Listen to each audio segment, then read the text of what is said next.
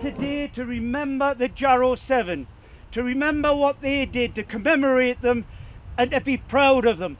But most of all, for them to drive us on to fight harder to make sure that we get the conditions that they would have dreamt of at the time.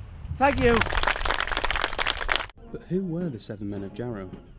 In 1831, Thomas Hepburn, pictured here, led a strike to reduce the working day of miners from 18 hours to 12. A year later, in 1832, and inspired by Hepburn, seven men of Jarrow led a strike to protest the poor working conditions in the Jarrow pit. They were arrested for conspiracy and sentenced to life working in the colonies of Australia, leaving their families behind them.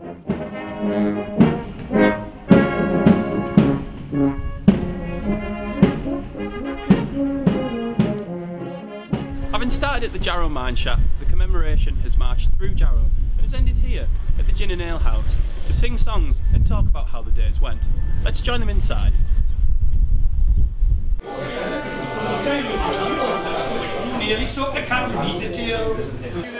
What the ruling class would like is to patch us all off the send us to bed, us to become a distant memory. It's important that people realise who the miners were, who we are, because I don't know a miner yet who doesn't call themselves a miner no matter what they're doing now, whether they're retired or they're working somewhere else.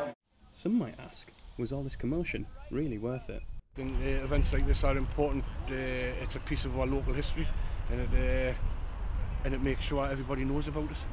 And talking to even teachers in the local area, they had no idea that this bit of really important history happened, you know, 500 metres from the schools that they're in. And if the teachers don't know, the kids presumably don't know. And this is an important bit of this town's history, of the class, the working class history of this area. And it just absolutely is vital.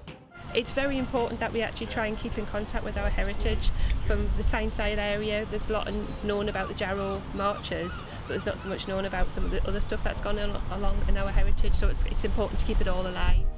Although this is only the first organised event, organisers hope this will become a more permanent fixture in the local calendar.